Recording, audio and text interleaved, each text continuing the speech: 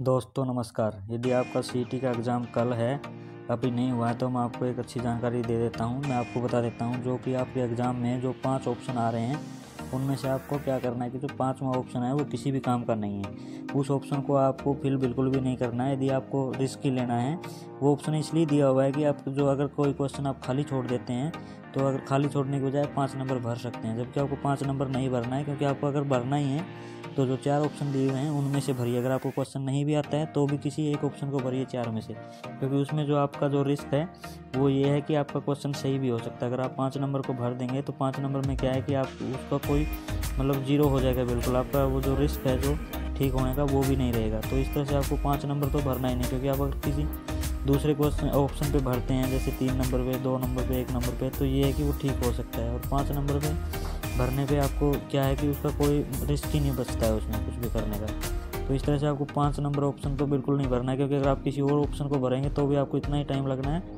और जो पाँच नंबर को भरेंगे तो भी इतना ही टाइम लगता है। तो आप पाँच नंबर को बिल्कुल मत फिल कीजिए और आप सिर्फ़, है ना, चार जो ऑप्शन दिए हैं, उनमें से ही किसी एक को कीजिए अगर आपको क्वेश्चन नहीं आता है। आपको छोड़ना, खाली अगर आपको छोड़ना ही नहीं है, पाँच नंबर ऑप्शन इसीलिए दिया हुआ है कि आपको खाली नहीं छोड़ना है। तो इसलिए आपको अगर भरना ही है तो पाँच नंबर मत भरिए, क्योंकि आप जो रिस्क लेंगे आप, इसमें आपकी नेगेटिव मार्किंग हो जाएगी।